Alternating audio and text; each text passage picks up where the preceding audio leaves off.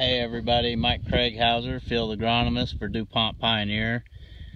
Putting in a PKF plot, a population plot here on some limited irrigation in Norton County. Uh, some of the populations we're doing are 24, 27, and 30,000, so about a 3,000 split there to try to look at, you know, how big are these ears going to flex and different stuff like that.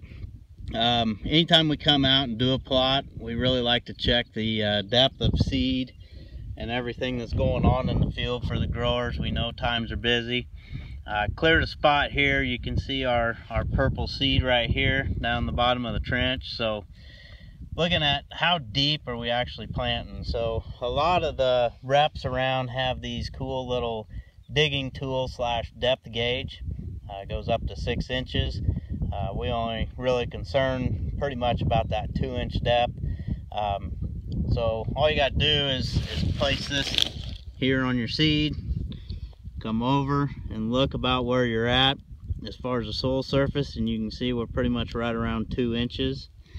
Um, some other handy tips if you don't have one of these, um, if I forget mine in the pickup and, and helping another guy out, uh, we can use a lot of our stakes uh, right here at the edge or the point of the stake up that's pretty much two inches so you can use that again to to gauge your depth there.